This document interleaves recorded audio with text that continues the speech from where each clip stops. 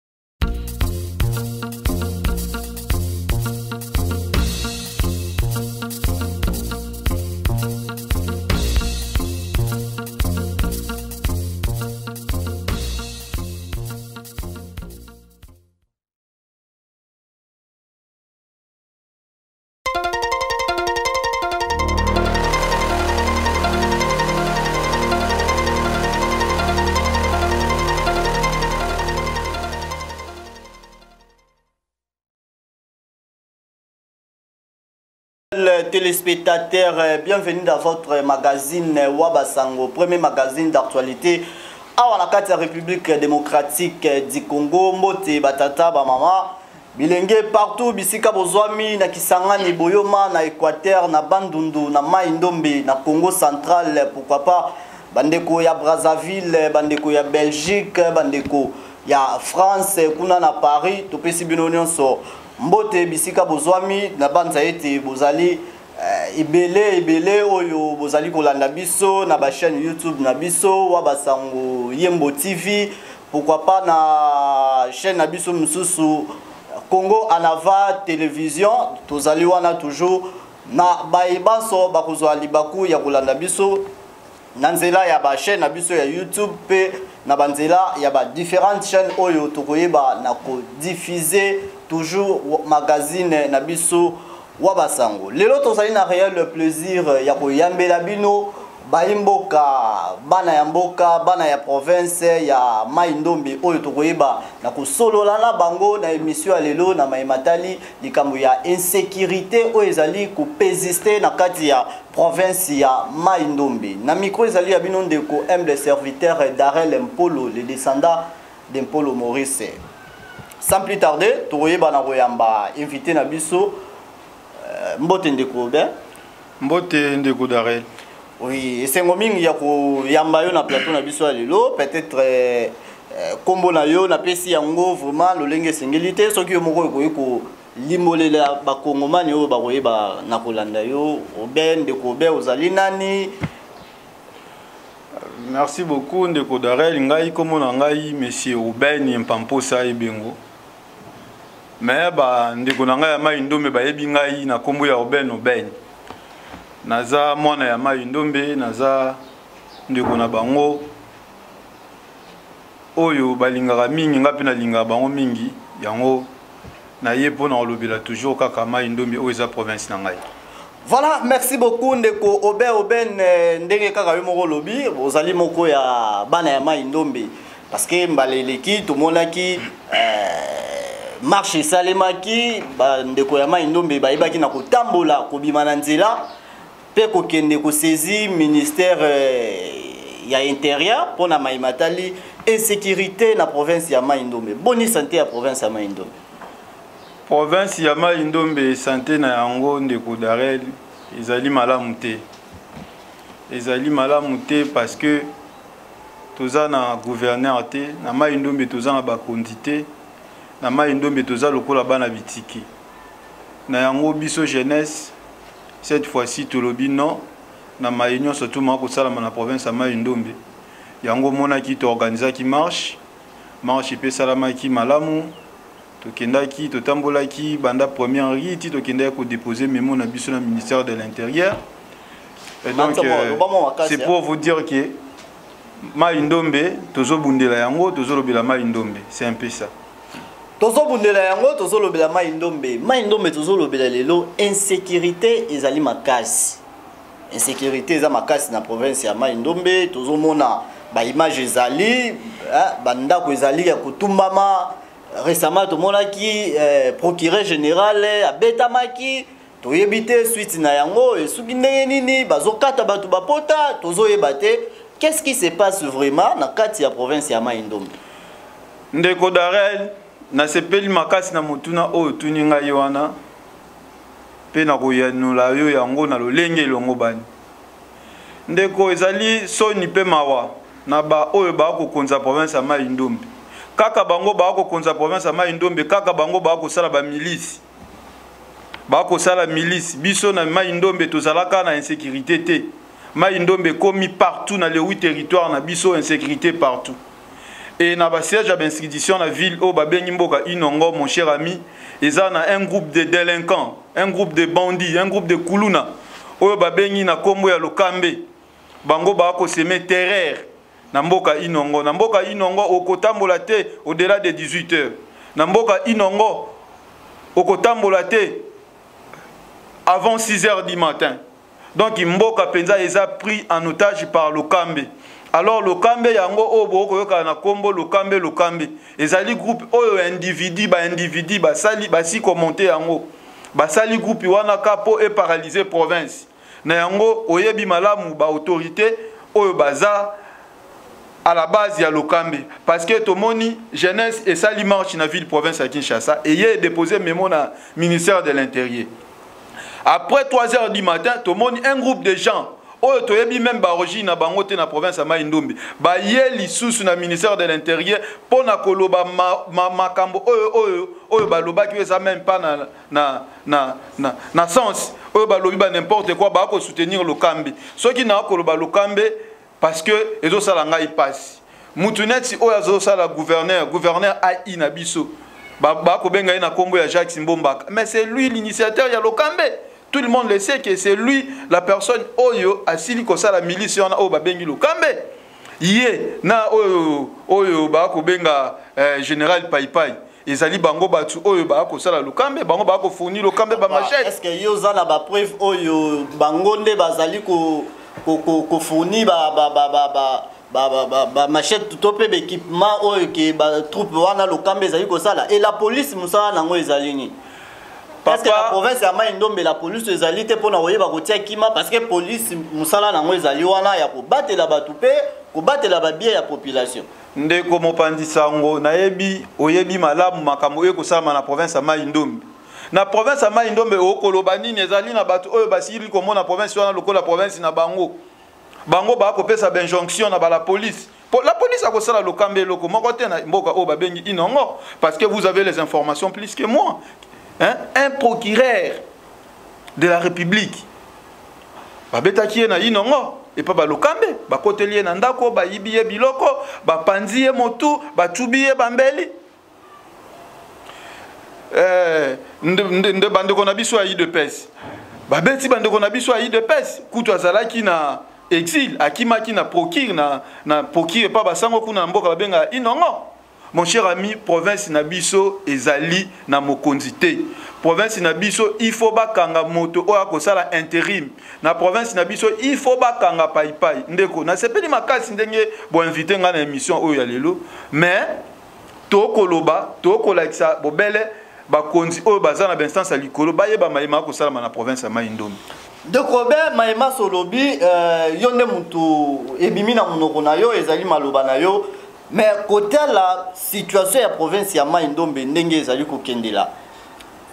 lokambe soki lokambe tozomona la police ezali wana mpona koyeba na kosala mosala na yango me na maye olobaki liboso awa après nsima ya marche na bino oyo bokende kodepose memo e groupe mosusu eyaki wana ngai mpe nazalaki présent parce que j'étais invité Euh, miracle koyeni soki okoki kotia baelema wana eh, illustre kaka baelema wana bazalaki wana groupe yango eyaki esali déclaration na yango ezali dynamique de euh, si je me trompe pas dynamique de jacques mbombaka biloko moko ya bongo bango balobi ke insécurité ezali na province ya mai ndombe te province ya mai ndombe ezali na kimia mais kotala ba image misusu oyo euti koleka récemment na mboka ya ya mushi to mpe kwamutu soki nabosani te bandako ya bato eziki mais kuna balobi ezali lokambe te ezali problème ya, ya, ya, ya, ya, ya, ya territorial baza kowelela mabele ndeko motuna moko malamu concernant makambo maye masalamaki na mboka kwamutu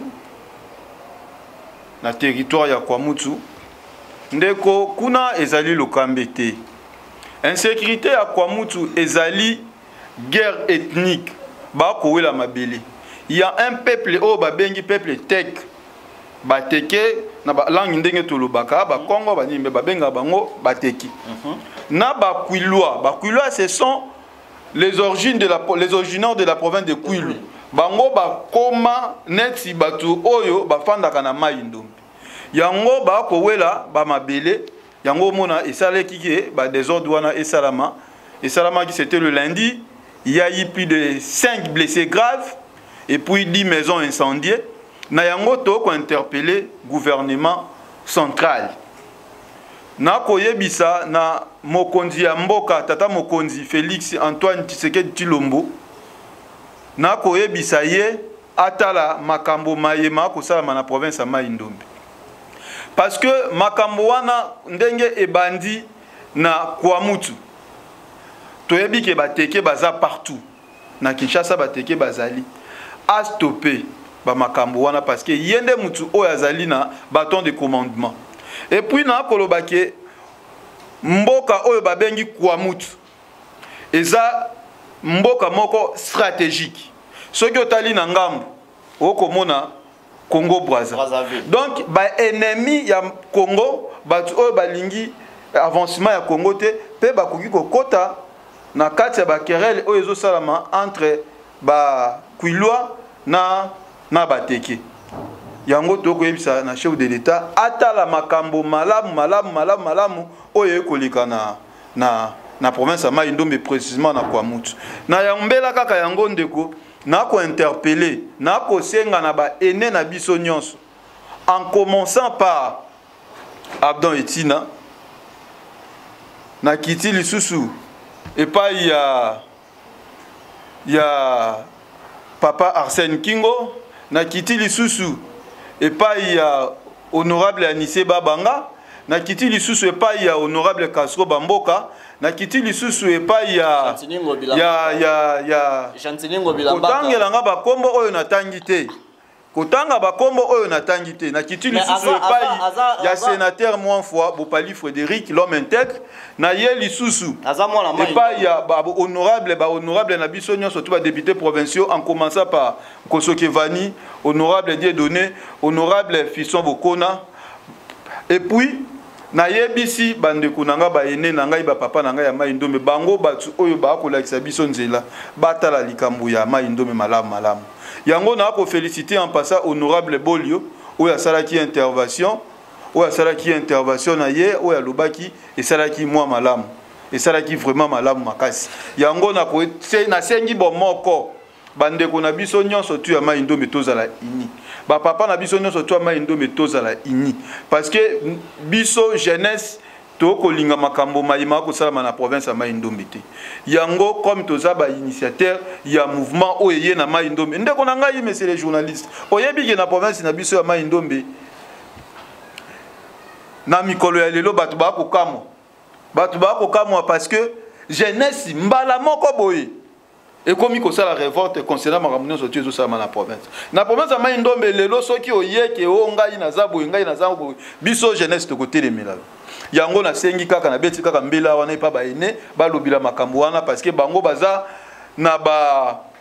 na ba baza na bamoyen oyo bakoki kosala mpo na kokutana na mokonzi ya mboka baexplike makambo makosalama na province ya mai ndombe mais bozali na représentant oyo mpe azali gouverneur lelo awa excellence gentini ngobila mbaka aza na facilité ya kokutana na président de la république mpo na kosolola na maye matali situation ya province ya mai ndombe ndeko mopanzi sango baquestion mosusu okoki kopose ngai yangoi te je pense que voilà. ozali mais euh, ndeko, ah. na, ndeko oben euh, toza toujours na yo toza kocontinue male malembe na émission na biso est ce que tokoki koyeba okoki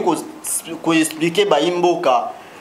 ya, ya bozangisi kimia wana ezowuta na nini ebandi wapi ezo, e, e, na, lolenge nini soki tokoyeba explication na yango koma province wana ekomi na makambo ya badesordre oyo ezalaka na yango te liboso ndeko na ngai motuna malamu motuna malamu mpe okozwa mpe kaka eyano ya malamu nayebi ke yo ozali mopanzi sango monene oyebi mayema akosalama na province ya mai mboma mpo nazonga ka mwa nsima moke nayebi oyebi makambo oyo esalama na, na yumbi mm -hmm. oyo tokobenga lelo ngai personnellement obene obene nakobenga yango génocide ya yumbi donc ti lelo nakosenga na gouvernement ba bafongola dossier wana bacommanditaire ya makambo ya yumbi wana bakangail faut tokundola yango makambo ya yumbi ebima le meme bato oyo bazalaki implike na makambo ya yumbi bango wana bayeli biso lokambi parce que na inongo bato bakosala insécurité bajeune oyo tokoki kobenga balokambi wana ce sont les venants oyo bato oyo bauta yumbi na bakuluna oyo bauta na kinshasa awa oyo bamemela biso nauti kotangela yo nkombo ke se eh, le gouverneur a ijax mbombaka ye nde autorité morale ya lokambi na général paipai bango nde bato oyo baza la base nayambaki ndeko na yo awa oyo aza mpe mwana mai ndombe lucien alobi ke gouverneur na association ya lokambe wana abengaka yango lokambe social parce que bango nde bazali kobongisa province ya mai ndombe bazali kobongisa ville ya inongo na kosalaka mwa bamisala kolonaka bafleur kobongisa banzela nde yango ye aza kobenga yango na, na, na na nkombo wana ya, ya, ya, lokambe. ya lokambe social ah. eza na ndenge ya mabe te ke ndenge bino bozokende yango ke no eza bakuluna eza banini ok merci beaucoup ndeko comme ndeko lucien azalaki awa ayebisaki yo bongo donc kaka lokambe yango mission oyo jacques apesa bango mpo babongisa inongo ndenge olobi te lokambe moto abeta procureur te lokambe ya, ya une semaine passé baoso kobeta ndeko bana weo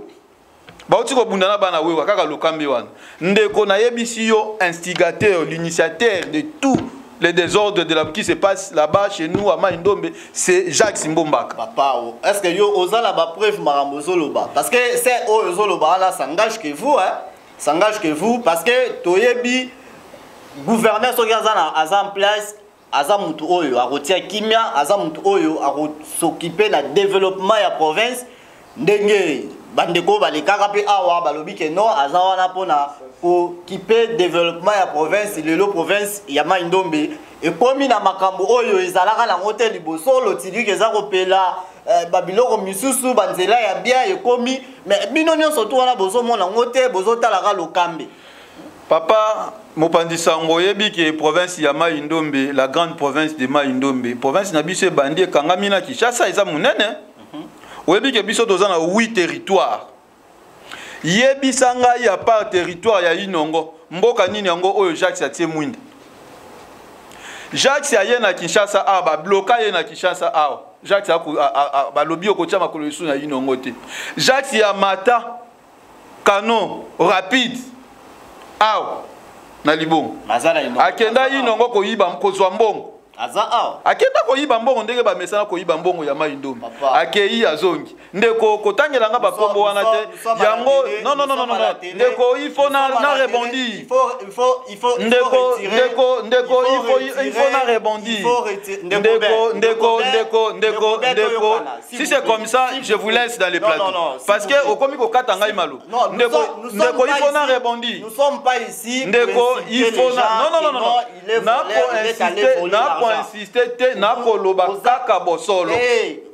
nga naza na besoin o retire mo ya koyiba mbongo ake koyiba mbongo wana retire yango te na confirme yango ke akendaki koyiba mbongo nakoki koretire yango te parce que nous avons des vidéos nous avons des images mbongo yango ewuta wapi na soficom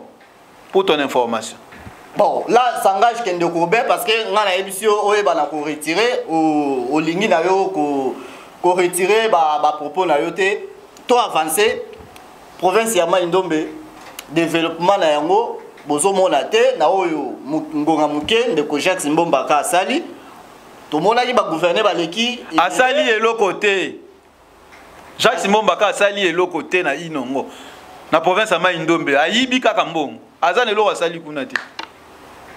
kotangela nga kutu nkombo na ye te parce que eza bankombo ezali kopesa biso jeunesse kanda e soki eza asali eloko te maintenant selo yo oza moko ya bana ya mai ndombe qu'est ce qui bloque développement ya mai ndombe nzambe na ngai nzambe okoti na mutu ya monsieur le journaliste apose question oyo na banda bloque développement ma ya mai ndombe parce mai ndombe soki yo lobi eza développé te mais na ndambo oyo ngonga moke oyo ndeko jacques mbombaka asali e bandeko ba bino baréalisation na ye amodifie euh, amodifie plutôt euh, atongi ya regard atongi babiro mosusu oyo ezalaki te mais abongisi yango lelo mai ndombe ezopela mwinda Eh, nyonso to wana bino bozondima yango te ke développement eza te yango nalobi nini oyo eza kobloke développement ya province ya mai ndombe oui qu'est-ce qui bloque le développement de la province de mai ndombe une bonne question mais moi je peux vous répondre dans cette question qui est la seule euh, le seul système qui bloque la province de mai ndombe c'est le système ngobila Système Ngobila comment Ngobila c'est un individu. Ngobila n'est pas un système. Mais quand je dis les ngobilistes, c'est et qui bloque la province de Maïndo. Ndeko be toke na lingala parce que ba yo pe ba ola na biso eza maman ndunda maman ya nini nyonso ba comprendre mai toza koloba. Hmm? Toke. OK. Na lobi ke eloko likambo ya motuya oyo ko bloquer province na biso pour province na biso est développée pe premièrement eza ba individu nous avons un groupe de gens oyo basili kozwa province lokola ndako na ye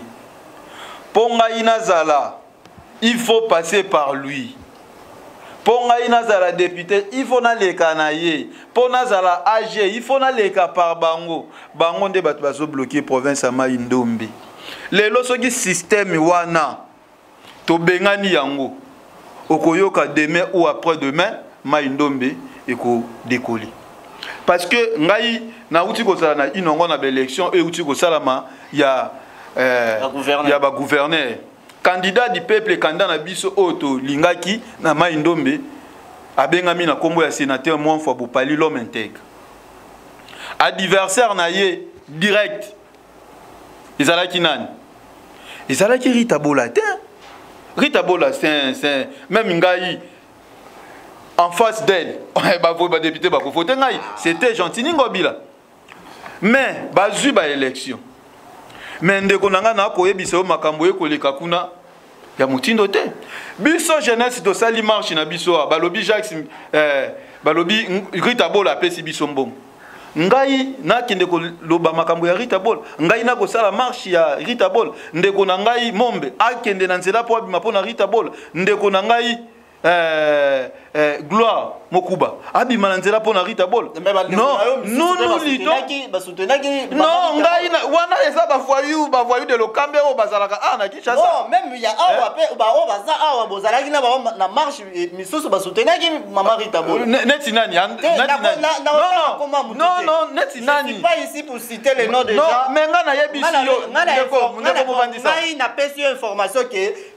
na groupe oyo bosalaki marche eh. il y avait des gens oyo basoutenaki candidature ya mame ndeko mopanzi sango kuna ka wana bazali na debandai baza kaka bo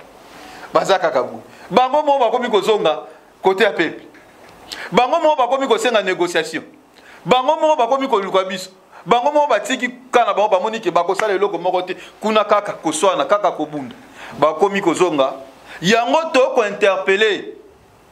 tous les notables de la province de Maïndoumbe, la jeunesse en entièreté de la province de Maïndoumbe, tokozela bango na baélection en 2023 biso na bango tokoyeba nani oyo alingaka province ya Maïndoumbe mpo tomoni bayini ya province ya Maïndoumbe tosi tomoni bayini ya Maïndoumbe yango okomona bakozonga yango omoni bakozonga ndenge tosalaki marche bazalaki baye mpo bamoni kuna eloko eza te moto akoki kosoutenir motu mais lorsque amoni ya un ça ne va pas ke oyo ezosenga batelema pourquoi pas ya korejoindre bino na idée na bino mais lorsqu'il soutient la personne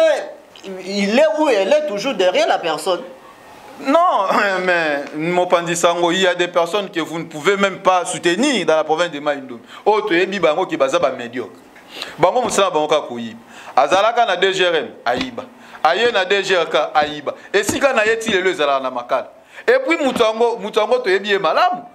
ancien ancienne policière ya belgique eloko nini papa eh, eh, eh, meme pas un decate akodirige province ya mai ndombe mais non la province ekufi eloko nini yango akosala tokoloba tokosenga na chef de l'etat afongola miso makasi mpo na province ya mai ndombe biso jeunesse tozali wana mpo na kocompagne chef de l'etat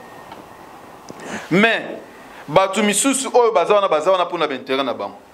ndeko makambo ya politike ezalaka un peu moins compliqué okoloba likambo boye oyebi te moto aza na nsima na yo baza na baambition na bango comme candidat président de la république faci candidat président de la république président fongola miso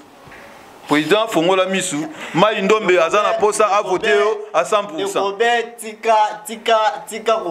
kofongola babreche mosusu oyo tokoki kolobela yango na émission oyo te parce que oyo ezali émission oyo eza spéciale ya mai ndombe eh? kanga na babreche misusu wana mais mokonzi ya mboka azali mokonzi ya mai ndombe oui, c'est lui le oui. garant de la nation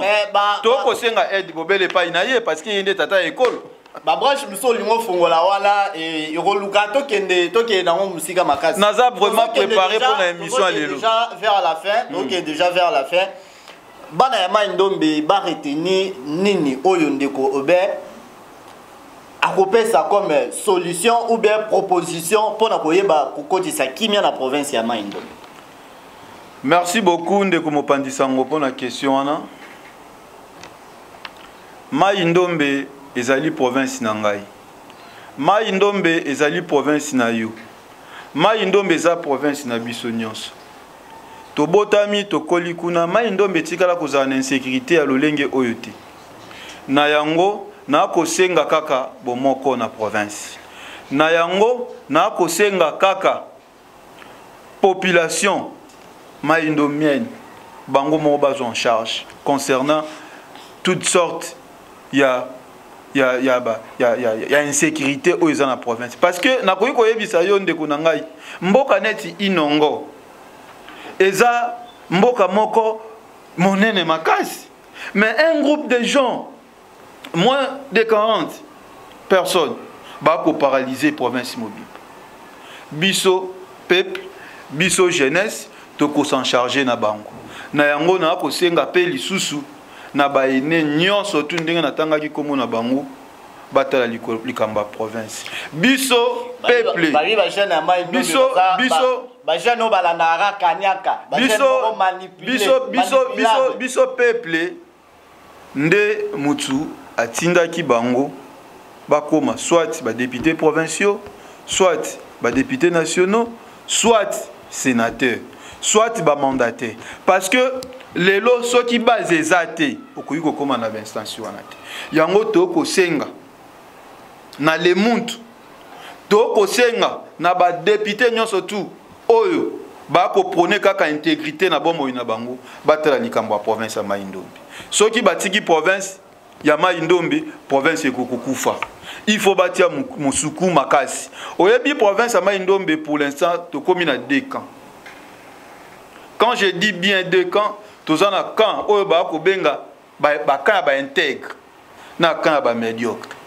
ba médiocre nde bato ba ko boma province ba médiocre nde bato baza à la base ya makambo nyonso tyo mabe kosala na province ezala nango ka bongo tomoni yango pe trop parce que mutu soko aza libanda ya masolo amonaka baye oyo baza na kati baza ba médiocre ntango ye mpe akokota na kati ya makambo yango ye mpe akomi lisusu médiocre koleka kutu na baoyo bazalaki na kati lelo oyo soki bandeko mosusu bakomo traite baoyo bazokamba lelo ke non bamédiocre faut badégage est ce que bango moko bazomitala nano parce que lelo oyo libanda ya masolo ezalaka maloba mosusu na kati ya masolo ekomaka ndenge mosusu nakolinga na passe message oyo epai ya ministre intérieur excellence aselo Eh, botala nao situation ya province ya mai ndombe excellence aselo excellence eh, jean claude molip botala na situation ya province ya mai ndombe parce que nasololi na confrère moko na ntongo alobi mai ndombe lelo mai ndombe lelo plutôt soki ekomi na insécurité makasi de 1 ezali baprisonnier ba baprisonnier oyo bakangaki parmi baprisonnier wana bakuluna to mpe ba ba criminel bazalaki na kati mwa ebele liberation na bango nde na minute oyo ezotia insécurité na mai na mai ndombe ezotia insécurité na mboka inongo na kwamutu na mboka ya kutu donc na trois territoire wana insécurité eza makasi pourquoi parce que baprisonnier oyo bakangaki oyo bakangaka baza bakuluna to mpe babandi to mpe bacriminele bazali libere nde bango bato bazali na hauteur ya batrouble to insécurité oyo ezali kocontinue na province ya mai ndombe tosenga na les deux ministres, vice-ministre Jean-Claude Molip et ministre Aselo Okito, baye banao kotala nanu likambo ya situation ya province ya mai ndombe kointerpele meme le général oyo aza kuna parce que mosala na ye kuna ezali nini azosala nini insécurité oyo ezosalema ye azosala nini il faut koluka nanu kolandela nanu dossier wana pour ke kimia ekota bayimboka bayebaka na kovivre na kimia na province na bango ndeko Aubin tokomi deja na suka ya ah, kaka sikoyo makambo eza ebele tolobi deja na suka ya emission na biso Eh, liloba na yo ya suka ekozala nini epai ya bayimboka baye banso bakozwa libaku ya kolanda yo merci beaucoup ndeko napesi bacongolais nyonso tu mbote que ça soit baoyo baza na kinshasa que ça soit baoyo baa na étranger en particulier baoyo ya nga bana nyonso to mai ndombe napesi bino mbote boyebi malamu province na biso banda tobota bapapa babota biso ezalaka na bainsécurité oyo te nasengi na bino bozala kimia bozala bomoko kimia ekota na kati ya mabota ma bino na ko compatir na bandeko na ngai oyo bazwaki ba choc parmi les 5 na ko compatir je suis de cœur na bandeko na ngai oyo batumbaki bandako na bango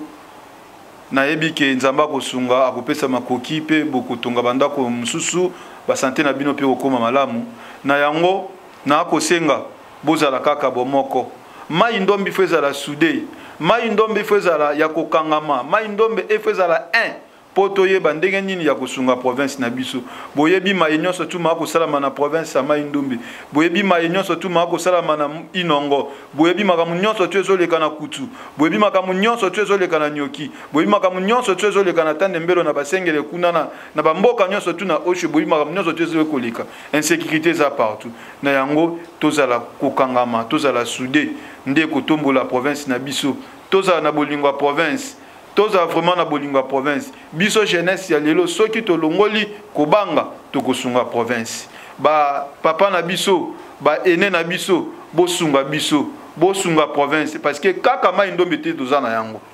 toza kaka na mai ndombe toza na province mosusu te toza kaka na mai ndombe lelo soki province na biso ebebi lelo soki province na biso ekomi neti baprovince misusu oyo tokoyoka kaka babomi basali boye toza to, to, to mpe dekere na bandeko na biso na baprovince mosusu mais oyo ya biso tolingi makambo ya modele wana te na yango tozala soude totala kaka ndenge tokodekole na province ya maindo voilà merci beaucoup ndeko obel obel merci merci mpona ndenge oyebaki na korépondre na invitation na biso voilà nous sommes euh, pratiquement à la fin topesi merci na bino nyonso oyo bozwaki libaku ya kolanda biso na mokolo ya lelo merci na bino nyonso oyo bozali kosabone bozali kosabone na bachaîne youtube na biso congo anava tv mpe wabasango yembo television donc bachaîne youtube na biso ezali wana boyeba na kosabone ebele ebele merci na bino nyonso to oyo bozalaki wana mpona koyeba na kosoutenir biso Pour que emission ya lelo eyebana kosalema malamu pourquoi pas na Mirla Kuyene mwana mwasi ya pembe oyo avandi na réalisation ya magazine wa basango et pourquoi pas na ndeko na biso azalaki derrière euh, la caméra hein, merci beaucoup na maye manso osali wana tokomi vraiment na suka tokosengaka na bino bakonzi boyeba vraiment na kotala situation ya province ya mai ndombe pamba te baoyo bazali kuna bazali mpe belecteur oyo bayebaka na kovote pour ke bakonzi bayeba na kokoma na bisika oyo bokomaka okoma président de la république okoma député mais ndenge kaka balobaka ntango okomela mai banzaka mpe source tokutani na bino na mikolo ekoya